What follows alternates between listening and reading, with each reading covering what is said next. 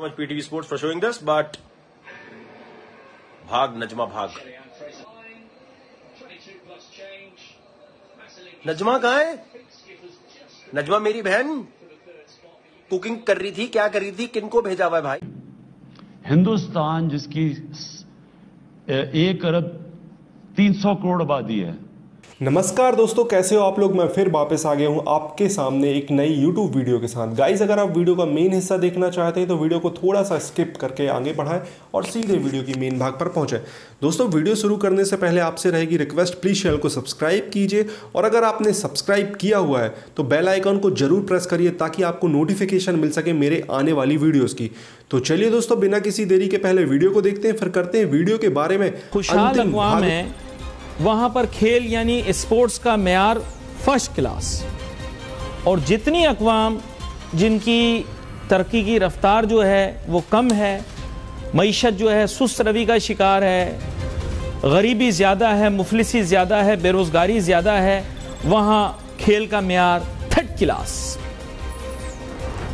अब नाजरीन, मेरी इस बात की नफ़ी हो गई। उसकी वजह यह है कि दुनिया में कहना नहीं चाहिए वैसे, लेकिन मैं कह देता हूँ। बेकार थर्ड क्लास, गरीब तरीन ममालिक ने भी ओलंपिक्स में मेडल ले लिया। लेकिन पाकिस्तान, जो कि नौजुबिल्ला कहना नहीं चाहिए, हर बात पे कहते हैं, हम नेमतों से माला माल हैं। हमारे पास दुनिया का सब कुछ है नौजुबिल्ला ऐसा कोई नहीं है, कोई शख्स, कोई ज़ात नहीं है सिवाय मेरे रब के। जिसके पास सब कुछ हो। लेकिन पाकिस्तानी कहते हैं, हमारे पास सब कुछ है नाउजुबिल्ला कहना नहीं चाहिए। लेकिन दरिया, समुंदर, पहाड़ हैं, दुनिया जहाँ की सारी चीज़ों का ढंडोरा पीटने के बाद स्कोर क्या आया ओलंपिक्स में? ज़ीरो। ज़ीरो। हमारे पास फैसिलिटीज़ नहीं है। तो बेटा, बुटसवाना के पास भी फैसिलिटीज़ नहीं है। मुल्क का नाम है बुटसवाना। उनके पास भी फैसिलिटीज़ नहीं है। हाँ कोट डी एवॉर में सिविल वॉर हो रही है, लेकिन फिर भी वो मेडल जीते हैं। कोसोवो जंग में तबाह हो गया, बर्बाद हो गया, उन्होंने भी मेडल लिया है। एक अकेला ये पाकिस्तानी क्यों है जिसका ज़ीरो मेडल है? चलो भाई जनरल आरिफ के पीछे पड़ जाओ, जो रिटायर्ड जनरल हैं, जो कि ओलंपिक कमेटी के सरबराह हैं। नहीं, उनको हटा दो, कोई नया बंदा लगा दो। मैं सेंड करके देता हूँ, फिर भी तुम लोगों का स्कोर वही आएगा ज़ीरो क्यों? मैं सवाल करता हूँ इस मुल्क के मुंतजमीन से कि क्यों ओलंपिक्स के अंदर हमारा ज़ीरो मेडल स्कोर आया है? मुल्क की सारी तरक्की याफ्ता कौमें, जो मुआशी पावर्स हैं, उन सब का स्कोर फ़र्स्ट क्लास है। हमारे पड़ोसी ईरान ने भी तीन मेडल लिए गोल्ड गोल्ड तीन गोल्ड मेडल लिए आपने क्या लिया? अपना फेवरेट स्कोर ज़ीरो क्रिकेट में आपको छक्के पसंद हैं और ओलंपिक्स में आपको ज़ीरो हिंसे आपके पसंदीदा हिंसे है ना? फिर कहते हैं, ये एंकर आके हमारी बेइज्जती करता है. और मेरे से मुहब वतन होने का सर्टिफिकेट छीन रहे हो और सोशल मीडिया पे नीरज चोपड़ा की तस्वीरें तुम लोग शेयर कर रहे हो। नहीं, शर्म भी कोई चीज़ होती है, कुछ शर्म और हया भी होती है। लेकिन उन लोगों में होती है ना, जिन लोगों में होती है। मेरे से मुहब वतन होने का सर्टिफिकेट तो बात बात पे छीनने की कोशिश करते हो। खुद जो नीरज चोपड़ा, प्रियंका चोपड़ा के भाई की तस्वीरें लगा लगा के डिस्को डांस कर रहे हो, नीरज चोपड़ा जीत गया, आ, नीरज चोपड़ा जीत गया। सर्टिफिकेट तो तुम लोगों का छीनना चाहिए मुहब वतन होने का। फिर कहते हो एंकर आके हमारी खिंचाई करता है। मैं अच्छा करता हूँ, दवाई नहीं खाता पहले ऑफ़ में। मुझे मुझे इतना गुस्सा आया मैं सोच नहीं, आप सोच नहीं सकते तस्वर नहीं कर सकते आप। लेकिन मैं फिर चुप हो जाऊँगा। क्योंकि कौन सा आप लोगों ने सुधर जाना? आप लोगों ने नहीं सुधरना, कभी नहीं सुधरोगे, आप कभी ठीक नहीं होगे। सौ बंदे बदल लो। आपने कहा हम cricket world cup world cup जीतेंगे, कप्तान चेंज कर दो। समझ तो आप गए हो बदल दिया। क्या क्रिकेट की कारकर्दगी? दो टके की क्रिकेट की कारकर्दगी नहीं थर्ड क्लास गेम पेश करते हो। बच्चों का वो वो क्या होता है, गिल्ली डंडा 2020 उसमें जीत के नाच गाना शुरू कर देते हो। हम 2020 जीत गए। हैं? इंग्लैंड पे खुश हो रहे हैं, इंग्लैंड फुटबॉल में हार गया। बेटा, तुम लोग क्रिकेट के अंदर जो अपना व्हाइट वॉश करवा के आए हो ना, इससे ज़्यादा कोई नहीं होता। वहाँ इंडिया सात मेडल ले लिया, तुम्हारा स्कोर ज़ीरो लेकिन क्या मुझे पे बता उन्होंने कहा सर्टिफिकेट मेरे से छीन रहे हैं और नीरज चोपड़ा की तस्वीरें आप लगा रहे हो? क्यों? प्रियंका चोपड़ा आपकी रिश्तेदार लगती है जो उसके भाई की तस्वीरें लगा रहे हो सोशल मीडिया के ऊपर? वैसे हर चीज़ के ऊपर लोगों को इंडिया से तकलीफ़ है, यहाँ पे तुम इंडिया वाले की तस्वीरें लगा रहे हो। हैं? बाल बाल कटवाने होते हैं तो वो जाके वो कौन कौन सी एक्ट्रेस है? वो जो पीके की एक्ट्रेस थी, उसका खामंद है ना? वैसे बाल कटवाते हो तुम लोग जाके? हैं? अनुष्का का जो खामंद है, क्या नाम है उसका? विराट विराट विराट जैसे बाल कटवाते हो, हैं? नाई को जाके बोलते हो, विराट कोहली वाला कट देना। कभी बनना, कभी गजनी है, कभी बनना विराट कोहली है, और मुझे पे बता उन्होंने कहा, सर्टिफिकेट हम लोगों से छीनना है। बहना अवी मीडिया साजिश कर रही है। क्यों भाई, मीडिया हर चीज़ की जिम्मेदार है। ये जो अपनी बेस्ती करा रहे हो, अपनी ज़ीरो मेडल लेकर आ रहे हो, ये मीडिया कर रही है। बहना अवी साजिश है। बस बस, बहुत हो गया। अब मीशत पे बात करने दो यार मुझे।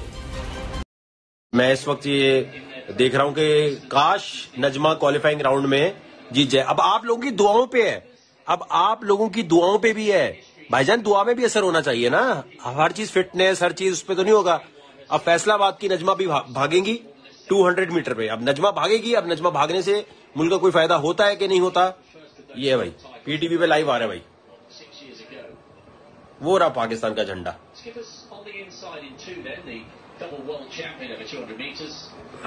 ये बहुत खतरनाक लग रही मुझे भाई।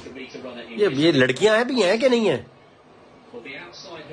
हमारी बहन का मुकाबला इतनी खतरनाक जगह पे हो रहा है।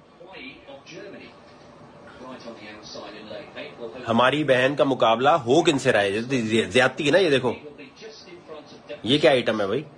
ये चलो भागो Najma. Come on Najma.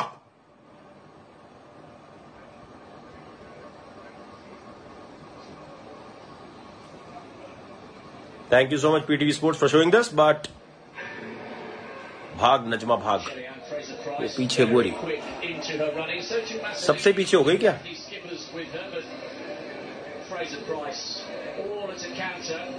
कुड़ी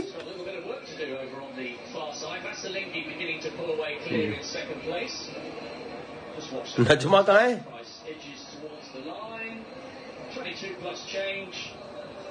नजमा कहा है नजमा मेरी बहन। कुकिंग कर रही थी क्या कर रही थी? किनको भेजा हुआ है भाई? और नजमा कहाँ है भाई? वो आई अभी। मेरी बहन। बाजी मतलब बाजी लास्ट आई हो क्या? चलो, कोई बात नहीं। उसके साथ कोच भी नहीं गया होगा देखना।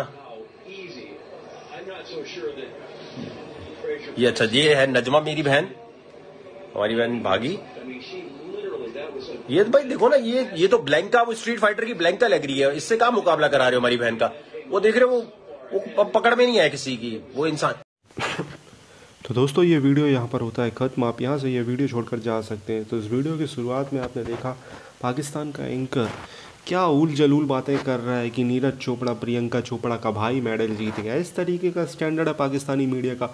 और दूसरी क्लिप में आपने देखा कि जो क्लिप काफ़ी इंडिया में वायरल हुई जिसमें मतलब पाकिस्तान की एक एथलीट है नजमा परवीन, नाम है उनका नजमा परवीन। क्वालिफाइंग राउंड के लिए दौड़ रही थी और उसको लेकर एक पाकिस्तान का काफ़ी मतलब ऐसा कार्टून है जिसको डेफिनेटली आपने कैरी मिनाटी ने वीडियो बनाया, अगर वो देखें, आपने बकार जका को काफ़ी बार रोस्ट किया और बकार जका की काफ़ी बार पिटाई हुई है। और ये इसी तरीके का मतलब एक एक प्रकार से पाकिस्तान का राखी सावन टाइप का कैरेक्टर है। ये कभी बातें करता है कि पाकिस्तान का कर्जा मैं क्रिप्टो करेंसी से बिटकॉइन से हटा दूँगा। इसी तरीके की इसकी कुछ रहती है मतलब आदत। तो मतलब ये मज़ाक उड़ा रहा है नजमा, परवीन, जो पाकिस्तान की एथलीट है। हालाँकि मैं उस एथलीट को जानता नहीं हूँ, लेकिन एक चीज़ समझ सकता हूँ कि नजमा, परवीन, पाकिस्तान की एथलीट उस वीडियो में आप क्लियरली देख सकते हो कि वो किस तरीके के कपड़े पहनकर दौड़ रही है उस पर क्या सिचुएशन होगी पाकिस्तान में। एथलीट वो भी महिला एथलीट किस तरीके से उनको प्रॉब्लम जाती होगी, ये चीज़ एक सोचने वाली बात है। हालाँकि मैं कौन हूँ, मैं, मेरा इससे क्या लेना देना, लेकिन फिर भी बात कर ली मैंने, चलो। हालाँकि वो वीडियो भी काफ़ी इंटरटेनिंग है, ये भी आप सुन सकते हो कि वकार सका का एक टैलेंट तो है कमेंट्री उसने अच्छी की है, ये भी एक दूसरा पक्ष है, लेकिन फिर भी ओके लेकिन जो जो एंकर बात कर रहा है, बहुत गजब की बात कर रहा है कि तुम प्रियंका चोपड़ा का भाई, नीरज चोपड़ा, यार कुछ तो यार शर्म कर यार भाई. तू पाकिस्तान की मीडिया में, तू सब लोग तुझे देख रहे हैं, इस तरीके की बातें कर रहा है. दोस्तों, भारत के जो भी खिलाड़ी थे, वो सारे के सारे जापान से वापस आ गए, ओलंपिक वहाँ समाप्त हो चुका है और भारत के खिलाड़ियों का जो स्वागत हुआ है डेफिनेटली उसे देखकर काफ़ी खुशी हुई होगी आपको, क्योंकि ऐसा स्वागत केवल क्रिकेटर्स को मिला है। इससे पहले शायद हॉकी के प्लेयर्स को मिला होगा, जब वो हॉकी का वर्ल्ड कप या जब भी गोल्ड मेडल जीत के आते होंगे, मुझे मुझे क्या आपको भी नहीं पता होगा, ज़्यादातर लोगों को तो नहीं पता होगा। तो इस बार जो स्वागत मिला है डेफिनेटली प्राउड मोमेंट काफ़ी सारे लोग और बहुत सारी जनता सड़कों पर आ गई। मीडिया वाले काफ़ी फुल सपोर्ट पे थे। हालाँकि ये मीडिया वाले मुझे पलट ना जाए, अगर थर्ड वेव आ गई तो फिर कहें कि किसकी वजह से आई थर्ड वेव चलिए, वो सब बात की बात है, लेकिन एक खुशी की बात है कि दूसरे स्पोर्ट इंडिया में अगर पॉपुलर हो गए तो बहुत फ़ायदा होने वाला है, क्योंकि क्रिकेट की डोमिनेंस मैं नहीं चाहता कि क्रिकेट की डोमिनेंस खत्म हो, लेकिन क्रिकेट के अलावा भी दूसरे गेम है, उनको एक दो परसेंट जो क्रिकेट के व्यूअर्स हैं, वो देखने लगे ना, और वहाँ से अगर उसको दूसरे गेम पर भी ध्यान दें और इसी तरीके से अगर हमारे कोई कैरेक्टर आते रहे, जैसे कि नीरज चोपड़ा और भी पीवी सिंधु वगैरह, जो कि मतलब इंडिपेंडेंटली खुद नीचे से ऊपर आकर एकदम से गोल्ड मेडल जीतते हैं। हालाँकि पीवी सिंधु नहीं जीती, लेकिन नीरज चोपड़ा एक बहुत अच्छा एग्ज़ाम्पल है। ये शायद कई लोगों के लिए इंस्पिरेशन बने। लेकिन एक बात क्लियर करना चाहता हूँ कि जो नीरज चोपड़ा है, उनके ट्विटर अकाउंट को आप फॉलो करते हैं तो उसमें एक साफ़ लिखा है कि इंडियन गवर्नमेंट ने काफ़ी सपोर्ट किया है। तो डेफिनेटली इंडियन गवर्नमेंट अब रॉ मटेरियल को तराश रही है। शायद अभी किरण रिजिजू का मैंने एक बयान सुना था, जिसमें उन्होंने बोला था कि दो हज़ार अट्ठाईस भारत का सबसे अच्छा ओलंपिक होगा। यानी उन्होंने स्पोर्ट मिनिस्ट्री के रहते हुए वो बच्चे सेलेक्ट कर लिए हैं, जो अभी छोटे हैं। लेकिन वो 2028 तक मतलब भारत का सबसे बेस्ट ओलंपिक होगा, ऐसा उन्होंने बोला है। तो दोस्तों, ऐसा उम्मीद करते हैं, कल मैं जो सुनील गावस्कर उनको आज तक पर रोते हुए देख रहा था, वो बोल रहे थे कि वो मतलब रोने लगे। ऑब्वियसली वो एक क्रिकेटर है और आप समझ समझ जाइए, अपने चाचा, मामा या जो भी आपके ओल्ड लोग हैं, उनसे पूछिए सुनील गावस्कर क्या थे। बहुत बड़े प्लेयर थे। वो इतना भावुक हो गए, निखिल चोपड़ा को गोल्ड देखते हुए, और वो चाहते हैं कि और अच्छा भारत प्रदर्शन करे।